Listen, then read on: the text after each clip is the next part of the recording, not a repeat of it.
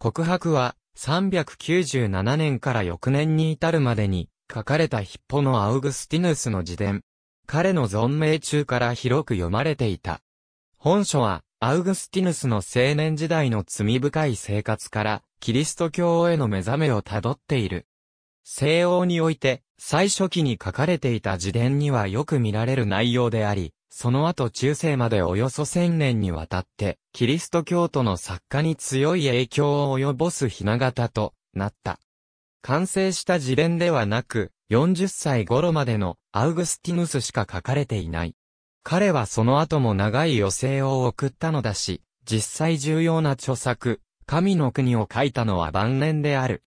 しかし、それでも、この本がアウグスティヌスの思考の進化をそっくり記録したものであり、4世紀から5世紀において一人の人間が残した記録の中では最も完成されたものであることは間違いない。また理論的にも重要な著作である。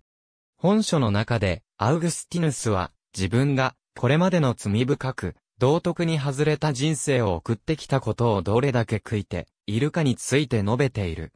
またその後にマニ教を信仰していたことや先生術を信じていたことの後悔を論じている。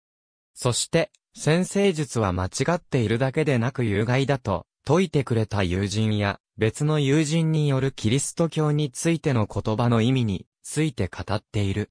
アウグスティヌスは、その性的な罪についてもひどく悲しんでみせ、性的な道徳の重要さを強調する。また学校でのお気に入りの科目についても書いている。数学は他の学問よりも厳密に定義され括弧としている点が好きだったのだという。この本は三位一体やその捉え方の様々な側面を象徴化している章を含んでいると考えられている。全13巻からなる。内容的には自伝的部分である第1巻第9巻と神学的部分である第10巻第13巻の2部に分かれる。章の数も後者で大きく増加する。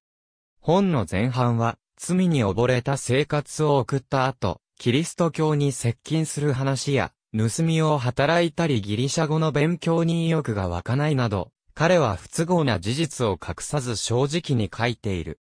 しかし彼は単なる遊び人ではなく、当初はマニ教に関心を寄せるが、ローマでネオプラトニズムに出会って決別、その後に哲学書を読み漁り、弁学に熱中し、神の国や三位一体論といった体調を残した。母モニカに反対されながらも、階級の異なる女性を大事にし続けた。友人の死に直面し自らの死を恐れ始める心境、描写、といったことが中心。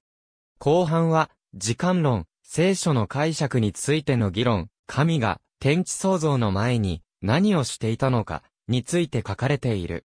この著作はカトリックやプロテスタントだけではなく、デカルト、カント、ニーチェ、20世紀では、ハイデガー、ウィトゲンシュタイン等多数の哲学者に影響、考察を与えた。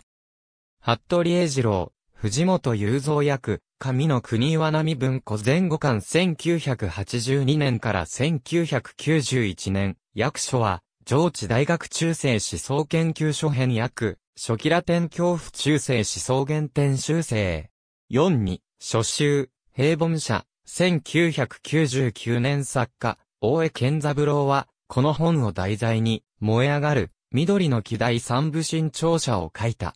ありがとうございます。